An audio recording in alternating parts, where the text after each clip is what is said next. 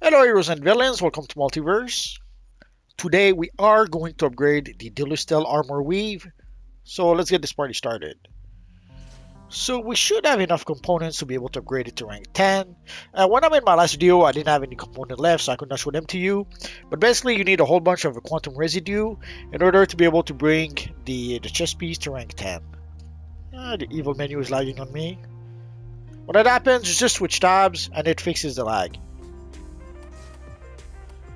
So you can see each quantum residue gives a thousand experience and we need 15,000 experience in order to be able to reach rank 10. So let us do that right now. So now that we have reached rank 10, in order to break through we will need 5 otherworldly alloys and 1 experimental synthetic DNA. So you can see that little chest over here, that is where you can get the DNA. And sadly we need 40 Metaclinic ID, so we cannot get it just yet. Although we can also purchase some DNA from uh, Officer Stone, uh, sadly it would cost us 200 encrypted schematics, and we don't have that much yet. Okay, so I finally was able to purchase the synthetic DNA, and uh, we have success chances is 100%, so we don't need to use any seals, whether of preservation or of completion. So let us break through right now.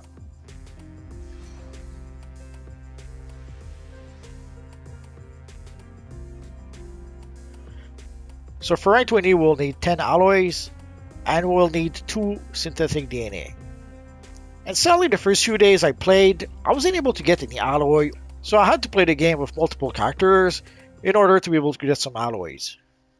Or the same for the quantum residue for that matter. So again, the quantum residue gives us 1000 XPs, and to reach rank 20, we will need 43,000 XPs. So right now we have 16,000. So here you can see the stats at rank 10. And here you have what the stats will be at rank 20. Uh, we already have the residue, so I may as well use it. So there you go guys, so we were able to break through rank 10. And the next time we will have to break through rank 20.